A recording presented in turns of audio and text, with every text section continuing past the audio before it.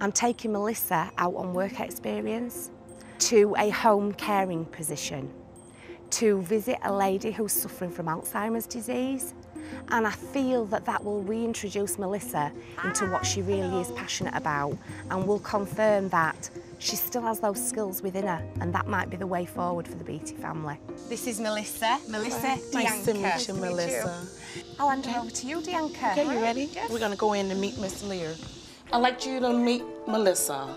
Melissa. Hello, how are Miss you doing? Jackie. It's fine, thank you. Nice to meet you, Nice to meet you. She's gonna have a sandwich and chips today because that's what she wants. I always Okay. ask her what she wants to eat. I do her laundry, I do her bedroom. So while Miss Jackie's eating her supper, I usually go finish um, the chores I have to finish. I was also a caregiver. I worked with North Shore INTS um, years back with a quadriplegic man. So how long you been out of the field? I had stopped about five years ago when I had my first daughter. You said you have a daughter? I have a daughter. And how old is she? She's 18. 18. Okay, well that's a little bit different than me. Mine are still babies. Yeah, she's 18, but I have a three-year-old grandson. too. Really? Yes. It feels good to know that you are actually doing something and helping somebody.